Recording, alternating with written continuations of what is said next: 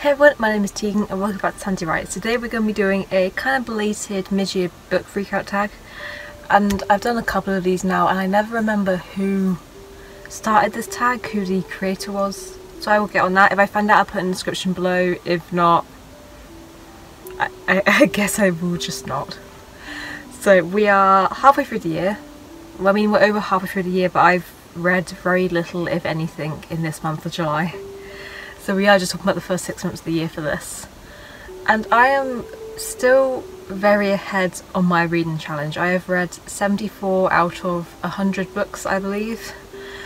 And my original reading goal was 52 because I try and read one book for every week of the year. And that's how it's been for the past few years. Just I was on some kind of crack at the start of this year. So although I am a little ahead on my reading challenge, my TBR pile continues to grow in size. I've also rediscovered the joy of our, um, our? The joy of my local library opened again after our third lockdown, I believe the UK's in, we're going into our third wave, so maybe there'll be a fourth coming soon. But I've been looking forward to going into the library again and actually having physical books to hold. So I've been reading a lot of of their ebooks during the pandemic and I do just miss the experience of browsing shelves, of having a book and not having to pay for it. So as I said today we're going to be doing the mid-year book recap tag which is probably a good time to do this because I was looking at my reading challenge earlier and I do not have a clue what any of these things are. So let's begin. So question one is best book you've read so far in 2021. I have a Goodreads shelf dedicated to the best books that I've read each year I usually pick the top like 10%-ish of what I've read or maybe like 5 to 10% and I try and narrow that down again by also the highest rated ones so it's my favourites and it's also the Goodreads community's favourites as well. So I try and update throughout the year of any books that I've rated 5 star or any like 4, 4.5 star books that I'm just obsessed with and I'll narrow it down at the end of the year. So I can actually answer the question pretty accurately. Um, even if I haven't finished reviewing all these books and can't remember why I like them. so I currently have six or seven books on the list for 2021 I believe and um, these two are currently battling for the top spot. So we have Lore by Alexandra Bracken. I've done a review for this. It's up on the blog and it's also up on this channel. I got this version of it in an OwlCrate box, which I think is, it was my first OwlCrate box, and I fell in love with it from the first page. This is a Greek mythology kind of cross Hunger Games style book. And this one, it, it, it still has my buy one get one half price Waterstone sticker on. This is also the first like new book I've read in a while. I originally read this from the library and now I have a physical copy and I didn't realise how tiny it is. I love that. So this is the other top book of the year so far is House of Hollow by Krystal Sutherland and I did fall in love with the cover before anything else. I've only read one more of her books which is up here, it's Our Chemical Hearts and I had like a kind of average experience with it. I watched the film of it recently and it made me wonder like do I just not like the film adaptation or did I not like the source material? So that is, I had a questionable experience with that book, so I didn't really have high hopes with this one, but then I became obsessed with it. This also has a review both on the blog and on this channel. Question two is best sequel that you've read so far in 2021. I've read very few exciting sequels this year, or very few sequels at all. Like the biggest one I can think of would be Mr. Impossible by Maggie Stiefvater, which is somewhere on this shelf here. It's this one. But I did not enjoy that. So I think the best sequel that I've read is um, not out yet. Um, that really stands out to me and is still the only book that matters to me right now and has put me in a massive reading slump is um, Aristotle and Dante Dive into the Waters of the World, which is a sequel to Ari and Dante Discover the Secrets of the Universe. The review is again both on the blog and this channel. It's a very spoiler free review because the book doesn't come out until October, November time. So I don't want to give away too much right now, I just want to tell you what I think about it. And honestly, a sequel has no right being that beautiful. Question three is new release you haven't read yet but want to. And as usual, I'm very behind on, on what books have come out this year. I wrote this blog post, because the blog post has been out for a few weeks now, before this came out. And I know um, Rainbow, Ra Rainbow Rowell has been um, rightfully held accountable for racism, specific specifically in Eleanor Park, it's up there. But I have a very complicated relationship with her because I don't like or agree with her values as a person, but I am obsessed with her writing style. So this has come out since um, I wrote the blog version of this video. So I'm like, it is 570 pages long. This is huge. Like, Carry On was big, but not this big. The sequel was a little, and now this is huge. So like, I am looking forward to reading this, but this um, did not exist at the time of this post. At the time of this post, again, it wasn't a new release because I believe um, this book is almost a year old now, but I've heard so many good things since the release date and I've just been waiting for like either my library to get an ebook copy or a physical copy of me to buy it. So I got this very beautiful copy. It's again, it's got the buy one half price sticker on. this very beautiful copy of Ray Raybearer, which I've been waiting to read for a long time, and I'm going to put it up here. This is my new TBR pile, I guess. Question four is my most anticipated release for the second half of the year. Again, not a clue what's coming out this year. I can tell you some anticipated releases I have in general would be uh, oh my god Lakelore by Anna-Marie McLemore um, The Drowned Woods by Emily Lloyd Jones I do have a little shelf on Goodreads of that's called my high priority TBR which are books that I think are coming out either 2022 or 2023 so like they're a way away but what have I pre-ordered recently? I think Rick Riordan has a book that's not a Percy Jackson universe book. I think it's called Daughter of the Deep and that is coming out sometime this year I believe but I'm very excited for that. I'm very excited for anything by him and I'm very excited for any oceany inspired books. Question 5 is biggest disappointment of the year and I'm still learning to accept that I can just like did not finish DNF um, books instead of suffering through ones that I dislike. But there are some that I stuck through because although they were bad, they were still entertaining, which is a concept I am still grasping.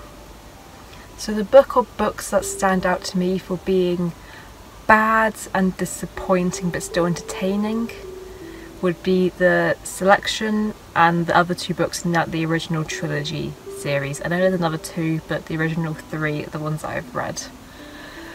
And I mean, reading the reviews, I should have known it's disappointing, but it has such a like the entire three books have such high ratings on Goodreads that I thought, yeah, maybe it'll be okay. Maybe it's just the bad reviews that are rated highly, but mm. there was like a good week or two where the one, which is the third book in the series was the only book on Goodreads I've ever given a one star rating to. Question six is biggest surprise and it's this one up here.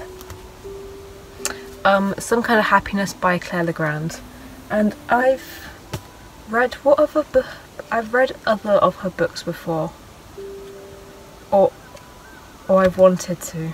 I can't think what they're called right now but this book was recommended to me by a friend who has a pretty solid idea of books that I like but I wasn't expecting this like very like sad contemporary fantasy influenced middle grade book to become a, like a quiet favourite of the year and to own my entire heart. Okay, next question is favourite new author, so either new as a new debut author or an author that's just new to me. And I kind of had two answers for this. I'm going to start off with saying um, Emily Lloyd Jones, because this book, I'm obsessed with this. It came out in 2019, I believe, but it's kind of having a resurgence now. And I've only read one of her books, but she has, like, her next book, The Drowned Woods, is like one of my highest anticipated books for next year. So she's a favourite new author just because I'm obsessed with this, and I'm going to come back to this book in another question, I think. But my answer to this question for now is um, Hannah Moskowitz. Um, she's someone who I've had on my radar for a year or two, purely because I've seen Paper Fury review these two books specifically. And these are the two that I've read, which is why she's my favourite new author, just because I've read a couple of her books. And I fell completely in love with her words and her imagination, and I'm so excited what to see what she does next. And also just like like catch up on like her back catalogue, uh, back catalogue of books like, I'm obsessed with these and these are meant to be like the bad, air quotes, bad ones. Next question is newest favourite character and again, um, the character Teeth, who is the main character of the book Teeth. Um, he's half human and half fish and I am fully in love with the idea of him.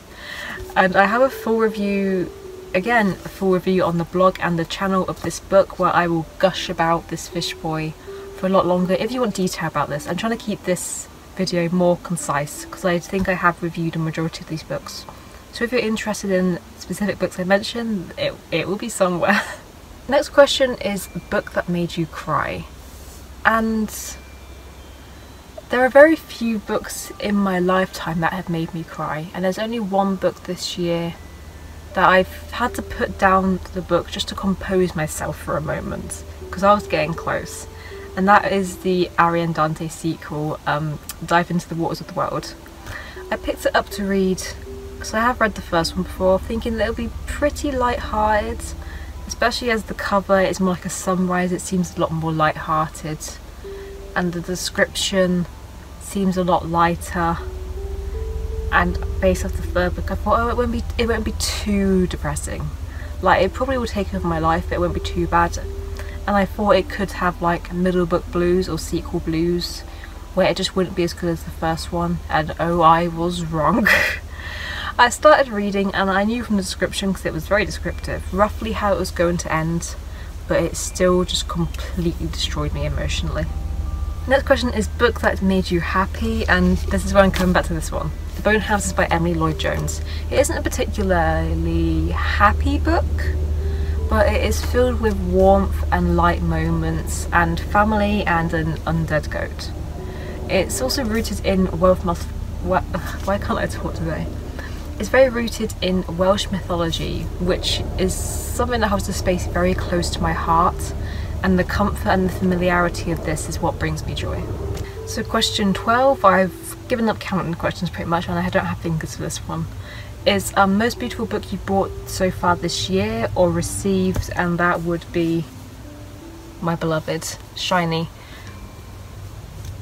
and I think this is probably one of the prettiest books I own. I've ever seen only ever seen one version of this cover which I think is more circle, it's more sun rays, it's got a face in the middle, it's like yellow and purple kind of. So when I saw this in Waterstones I kind of had to do a double take so I was like what book is this? What is this? Oh my god, the, the sun's coming out. The sun rays are coming out. but I had to do a double take, like I, I didn't realise there was more covers. And I loved how like the subtle faces. You can't quite see because of the light, but it's beautiful and I can't wait to read this. And final question is, what books do you need to read by the end of this year?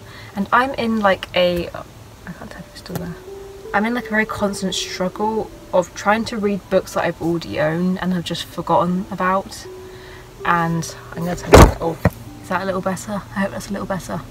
Yeah, I'm in this constant struggle of trying to like catch up on reading books I already have and trying to read like classics. Like last year I read the Harry Potter series for the first time because people kept like bullying me like, oh you haven't read this? And I was like, no. So I'm trying to read like, you know, the classics because people try and make me feel guilty for not having read them. And also I'm trying to, trying to reread just whatever I like. So there's this struggle of read new things and reread things that I know I love. Or also series that I read so long ago that I wasn't on Goodreads at the time, so I need to have them like updated on there. But I think my high priority TBR would be Raybearer, Any Way the Wind Blows, and this one down here um, the Dan Howell kind of like mental health self-help book because I was and still am the biggest Dan and Phil stan so this means a lot to me and I kind of live in fear of reading it, that it won't live up to expectations or it will just read me. Is that no, I just want to read it. So I live in fear of this book. So that's all the questions for this tag. I'll leave a full list of questions in the description below. I'll also drop a link to my reviews playlist in case you want to read reviews for some of these specific books. Or maybe my 2021 videos playlist because that'll be, that is just pretty much these reviews. And there'll be a link to the blog in case you want written versions and I'll leave the full list of questions. And I'll leave you with this. So please in the comments below tell me like what is the best book that you have read so far this year? What was your biggest surprise and have there been any disappointments? Because I love hearing about disappointments. Thank you for watching this video and I will see you next time. Bye!